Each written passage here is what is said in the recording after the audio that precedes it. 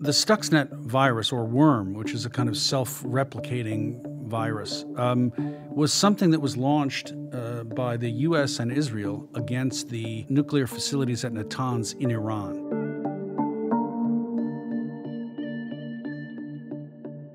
And what it was designed to do, and what made it so remarkable, is it made the leap from the virtual to the real.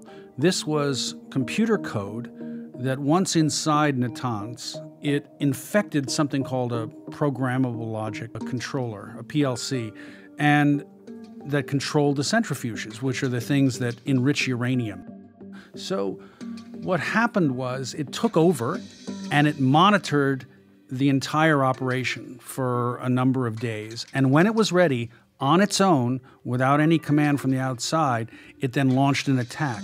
And it made the centrifuges spin wildly, either very fast or very slowly, until about a thousand of them blew apart.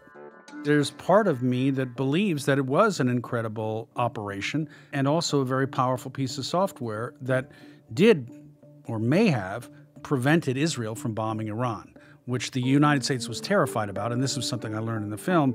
That was really the reason that we participated in the operation. We were terrified that Israel was going to bomb Iran, which would inevitably draw us into a war with Iran. Coming back to the Stuxnet virus, I think the really interesting thing is that, in part due to the actions of one of the actors, in this case, uh, Israel, uh, it escaped from Natanz. It was always supposed to be secret.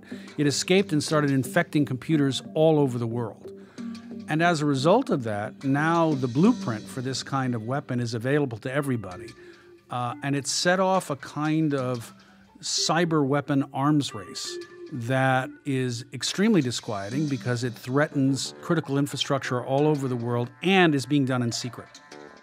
The code is actually infecting the machines that operate the other machines.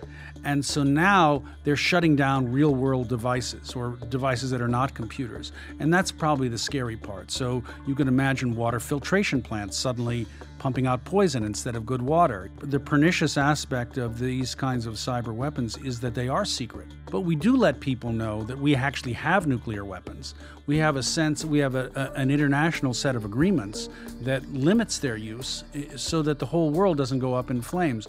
We understand capability, nuclear capability. And mind you, it took a lot of work to get the government to agree to start talking about that capability. So, my takeaway from the film would be that we have to begin to at least start talking about the capability of these weapons, to admit that we developed them, and to begin to start forging some sort of international agreements on their use, or we're all going to go down. And we're going to go down in ways that we won't even know what hit us.